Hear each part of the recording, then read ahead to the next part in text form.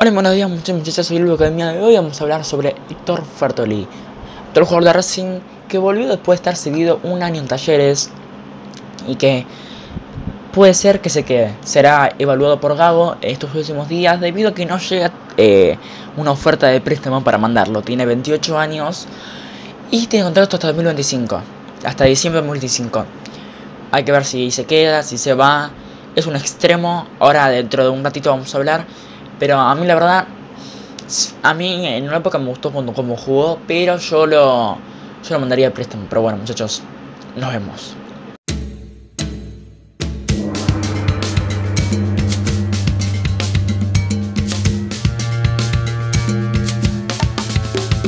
Bueno muchachos, Héctor Hugo Fertoli es un jugador argentino que puede jugar como volante o extremo izquierdo y también puede ser, también izquierdo e, e, y derecho tuvo eh, recién hace unos días, tuvo seguido a talleres, finalizó el contrato y volvió a Racing. Hoy vamos a hablar un poquito sobre los años de Fertoli, desde que empezó hasta acá, a la que estuvo en talleres.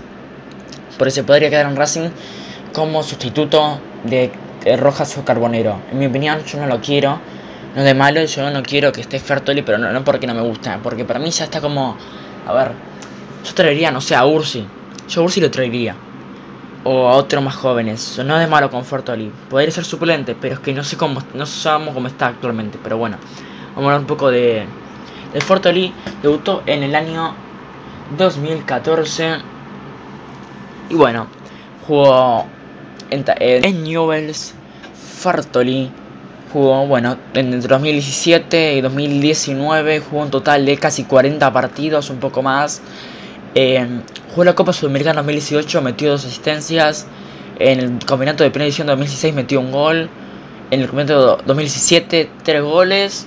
Nada mal. 7-18, metió tres goles, tres asistencias con 25 partidos. Y en el año 2019, 2015, jugó 15 partidos, metió 4 goles y una asistencia.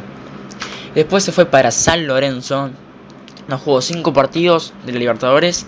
Jugó 10 partidos perdón, jugó 12 partidos en primera división y metió solamente una asistencia. Después vino a Racing en el 2020.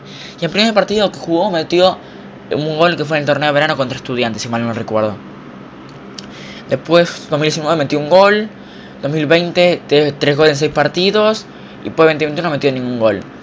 Jugó la Libertadores con Pizzi, no sé si se acuerdan. En donde metió 2 goles y una asistencia. Y jugó la Copa Libertadores este, el año pasado y no metió ningún solo gol en Talleres. Jugó dos partidos del torneo de verano. En Copa Libertadores jugó 8 partidos, metió 2 goles y una asistencia. Y en la primera división, donde jugó un total de 40 partidos, metió 2 goles y 5 asistencias. No está nada mal para Fertoli, pero yo lo, llevaría, lo mandaría a préstamo, la verdad. O lo vendería ya. No sé de la opinión de ustedes, muchachos. Yo les, les conté un poco sobre cómo estuvo Fertoli en los últimos años. Mm, eh, no sé.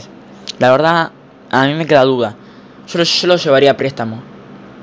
O, pero también hay que pensar que Gago siempre como que mejora a los jugadores, viste la potencia. Pero bueno, eso hay que verlo. Después, muchachos, voy a hacer un video. Voy a subir un video sobre los goles de Fertoli en Talleres, en Racing y en Newells. No, perdón, eh, no, en, en Newells, Lorenzo y Racing. Eh, bueno, muchachos, espero que les haya gustado el video un saludo enorme.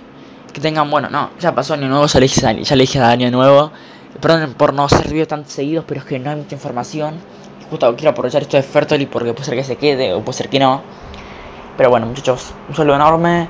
Soy Elu Academia y nos vemos. Chau.